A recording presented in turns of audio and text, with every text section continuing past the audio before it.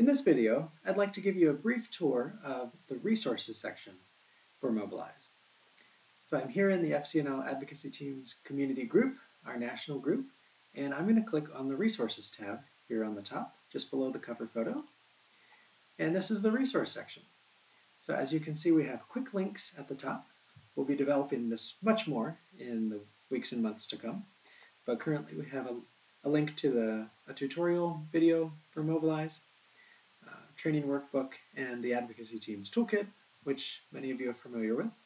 And below, we're beginning to develop folders. So for the Invest in Peace campaign resources, we've put the, the three one-pagers uh, for the different peace building accounts there, and we can add a lot more.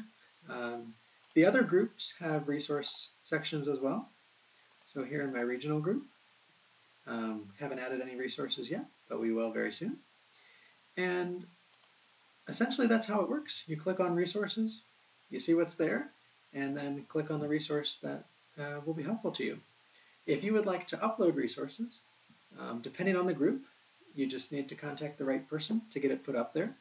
So for this main national group, feel free to talk with me or one of um, the FCNL staff. For your regional group, you can talk to your regional anchor and share a resource with them to post. And for your state group, you can speak with your statewide coordinator or whoever in your state is helping to administer that page. So we hope that this is a place where we can share a lot of resources um, from FCNL that are helpful, but also a place where we can post resources that advocacy team members across the country develop, and the possibilities for sharing these uh, to equip and inspire one another is endless. So another powerful feature from Mobilize, and I look forward to um, receiving your contributions for this section soon. Uh, let me know if you have any questions on resources, and good luck.